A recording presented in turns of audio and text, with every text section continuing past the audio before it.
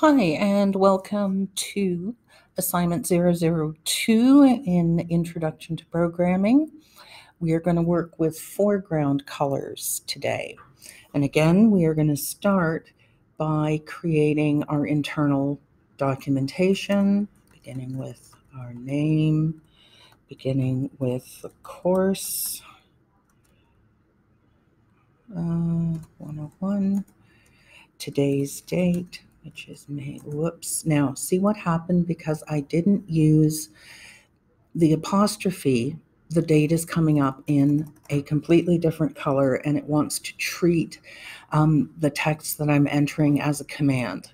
So I put in my apostrophe, May 23rd, 2019. Um, again, the title of the program is 002A, and we are calling it foreground colors.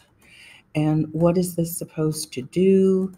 This program is meant to demonstrate the different text colors that can be used in small basic.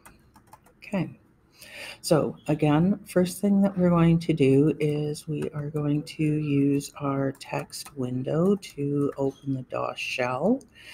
And we are going to set, you'll notice that background color came up. We are going to go foreground and you can click here, double click, and we are going to go equals because we are going to provide a, um, a value for excuse me, we're going to provide a value for the foreground color.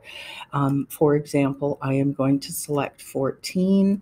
Now I am going to go text window dot write line and open my brackets. This time I'm using quotes.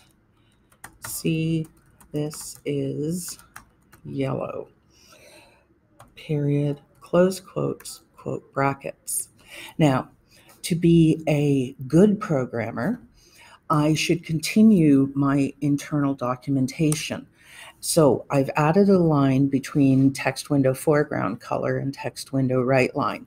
And what I'm going to do, I'm going to create a comment in this line here on line 8 and setting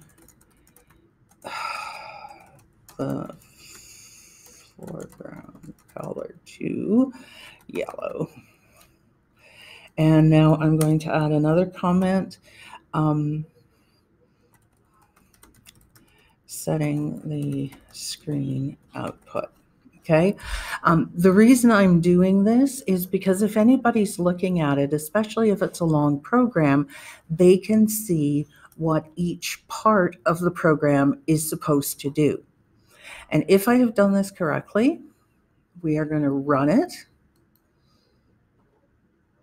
And there you go. See, this is yellow. And because I used write line, it is now moved down a new line. Enjoy.